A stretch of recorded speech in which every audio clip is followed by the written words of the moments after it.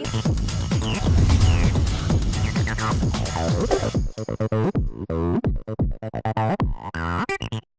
primeiro projeto votado na sessão plenária desta terça-feira altera a lei que trata da publicidade oficial do Estado, destinando 2% dos valores para propaganda de conscientização sobre o transtorno do espectro autista, síndrome de Down e pessoas com deficiência. A proposta do deputado Alain Lopes recebeu quatro emendas e retorna às comissões. Iniciando as votações de propostas que tratam de doenças raras, os deputados analisaram o projeto que amplia o período de licença maternidade e paternidade em 60 dias para servidores públicos do Estado que tiverem filhos com deficiência ou doença rara. O tempo extra pode ser concedido ao pai ou à mãe da criança. A proposta também aumenta a licença no nascimento de bebê prematuro, associado a deficiência ou doença rara. Neste caso, é considerado prematuro o bebê nascido antes das 37 semanas de gestação. A licença será aumentada pela diferença entre as 37 semanas e a data do parto, comprovada a idade gestacional por meio de exames clínicos. Também deve ser acrescidos ao período de licença os dias correspondentes aos de hospitalização do recém-nascido após a alta da mãe. O projeto do deputado licenciado Gustavo Tutuca foi aprovado e retorna para mais uma discussão. Pessoas com transtornos mentais ou doenças crônicas podem ter direito à gratuidade em eventos culturais e esportivos do Estado. Para usufruir do benefício, deve ser apresentada uma declaração ou cartão de acompanhamento do Centro de Atenção Psicossocial ou cartão de consulta da Unidade Pública de Saúde conveniada ao SUS.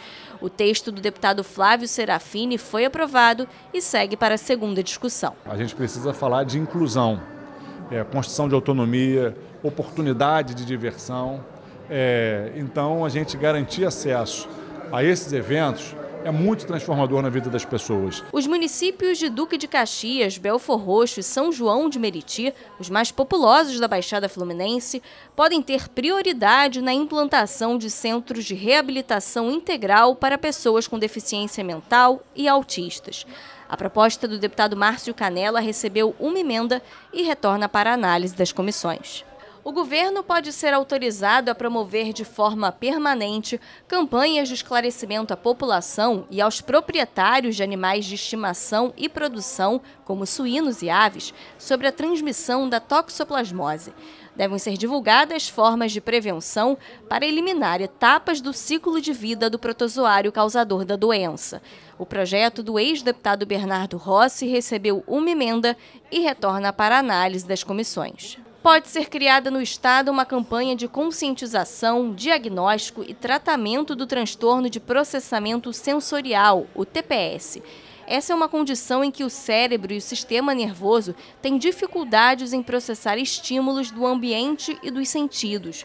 Uma criança com TPS, por exemplo, pode sentir dificuldade de processar o calor ou o frio, o cansaço, a fome, luzes, sons e outras sensações simples do dia a dia. A campanha deve ser divulgada nos espaços de saúde, informando os tipos de tratamento e como lidar com quem tem essas sensibilidades alteradas.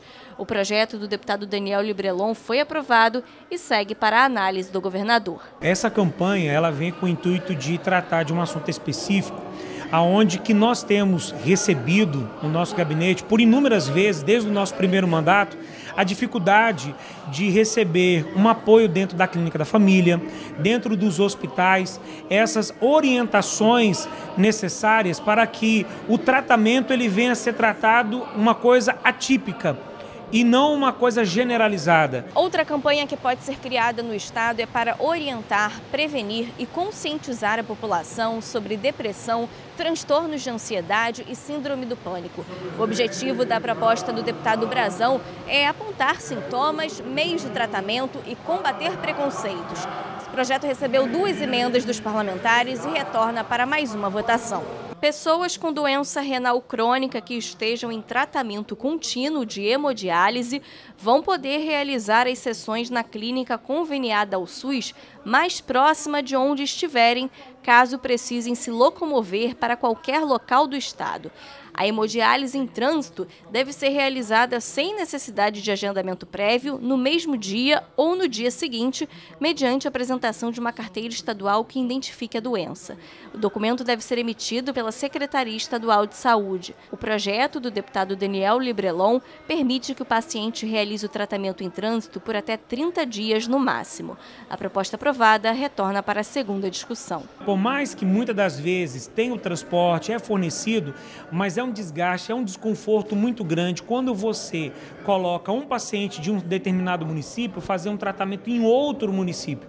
Então, quando nós construímos esse projeto de lei, foi exatamente com a nossa bandeira de humanização em atendimento a essas pessoas que necessitam desse tratamento, olhar com esse olhar humanizado. Um projeto que cria regras e diretrizes para garantir acessibilidade a pessoas com transtorno do espectro autista em pontos turísticos, hotéis e locais de hospedagem no estado foi discutido durante a sessão de hoje. Nesses locais, deverá ser disponibilizado materiais de apoio, além de oferecer uma estrutura que garanta uma boa experiência ao visitante autista.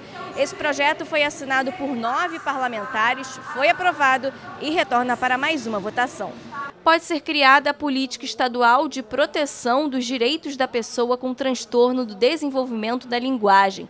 O projeto do deputado Júlio Rocha esclarece que a pessoa com esse transtorno tem os mesmos direitos legais das pessoas com deficiência. Segundo o texto, a política tem como objetivos a intersetorialidade no desenvolvimento das ações e atendimento, a atenção integral às necessidades de saúde, priorizando o diagnóstico precoce, o atendimento multiprofissional e o acesso a medicamentos e nutrientes. A proposta prevê também o estímulo à inserção das pessoas com TDL no mercado de trabalho. Três emendas foram apresentadas e a matéria retorna às comissões. Todas essas pessoas que têm todas essas deficiências têm dificuldade. O que a gente está fazendo hoje aqui é nada mais incluir todo mundo no mesma demanda de ajuda, entendeu? É incluir o TDL na política estadual de pessoas com deficiência. Os deputados também aprovaram quatro projetos de lei que garantem benefícios às pessoas com deficiência e doenças raras. Entre eles estão prioridade na tramitação de processos e procedimentos administrativos, prioridade em atendimentos de repartições públicas do Estado e em urgências e emergências de hospitais estaduais e privados. Além disso, também foi aprovada a criação de um Estatuto da Pessoa com Doença Rara.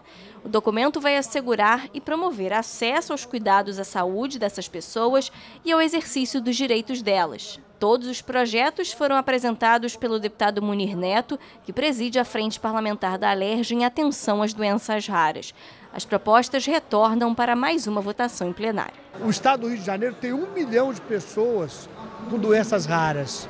É, a cada duas mil pessoas que nasce, uma tem doença rara. E o pior disso é que 30% dessas pessoas vêm a óbito até os 5 anos por falta de diagnóstico. A partir da aprovação desse estatuto e quando o governador Cláudio Castro sancionar, nós vamos ter os direitos das pessoas com doenças raras, os raros, é, assegurado, né? Não só eles, como seus familiares. Com isso, eu tenho certeza absoluta que a qualidade de vida deles vai melhorar muito, inclusive a inclusão em toda a sociedade.